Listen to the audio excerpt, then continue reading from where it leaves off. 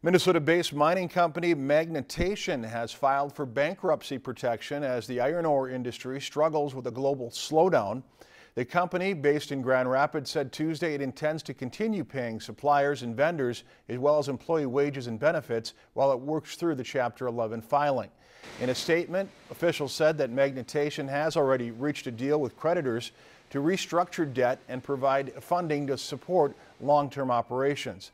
The company recycles waste rock from taconite, uh, taconite production on northern Minnesota's Iron Range, mining the waste piles left behind in the mining process. In February, it said it was closing an operation in Keewatin. If you've enjoyed this segment of Lakeland News, please consider making a tax-deductible contribution to Lakeland Public Television.